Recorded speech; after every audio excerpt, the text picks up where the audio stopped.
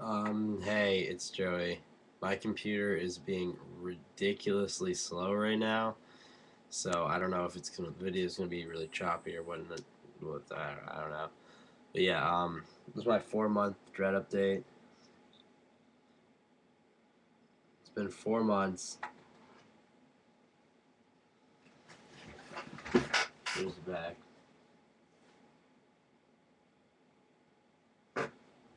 Here, I don't know if the light would help. Oh, the light doesn't work. That would be why it doesn't turn on.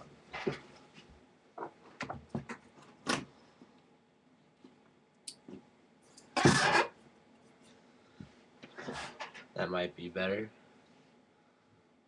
Um, so yeah, it's been four months.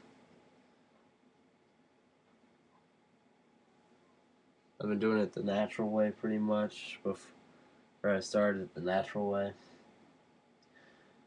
I do a lot of maintenance, I guess.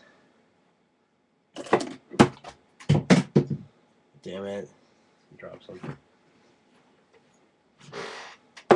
Well, uh, yeah, here. Well, it's gonna fall over again.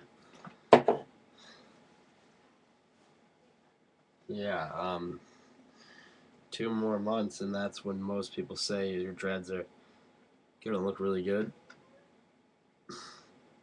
Uh, I haven't been putting anything in my hair recently, just because that kind of annoys me, and to sleep on it, and like pretty much sleeping on a rock if you're sleeping on a bead.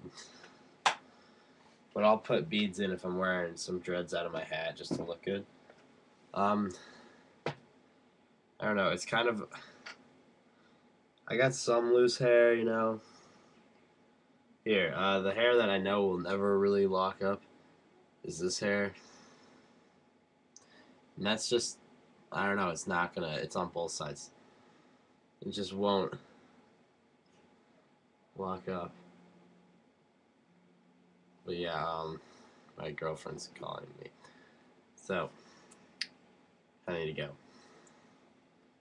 Hello? Hi. Yeah, I finished that.